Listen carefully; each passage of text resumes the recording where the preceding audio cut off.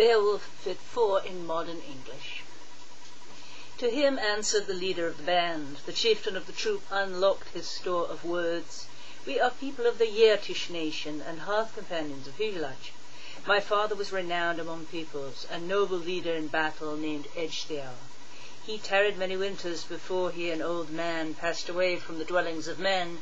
Each of the wise men far and wide throughout the earth recalls him readily. We have come to seek thy lord, the son of Healfdene, the protector of the people, with honourable intent. Give us good counsel.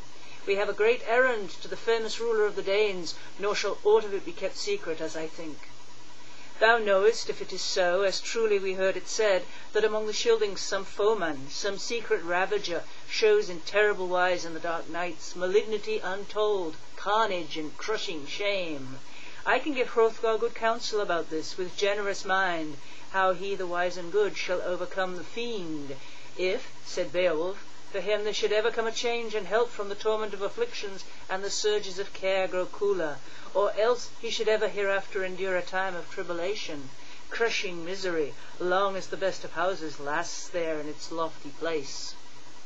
The watchman, bold retainer, answered sitting there on his horse, The bold shield warrior who judges well must know the difference between these two, words and deeds. I understand that this is a company friendly to the Lord of the Scyldings. Pass forth, bearing your weapons and armour. I will guide you. Moreover, I will bid my comrades honourably to guard your ship against all enemies, your fresh tarred vessel on the beach, until at last the wooden craft with twisted prow bears the beloved man back to the shores of Geatland over the eddying seas. To one of such noble deeds it will be granted that he shall come safely through the rush of battle. They set out then to journey on. The ship remained still. The spacious vessel rode on the painter, held by its anchor. Above the cheek guards shone the boar images, covered with gold, gleaming and tempered. The fierce-hearted board held guard over the warlike men. The warriors hastened.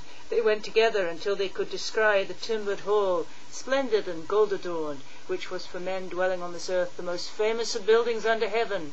In this the ruler dwelt. Its radiance gleamed o'er many lands. Then did the warrior bold in battle point out to them the radiant dwelling of brave men, that they might go straight thither.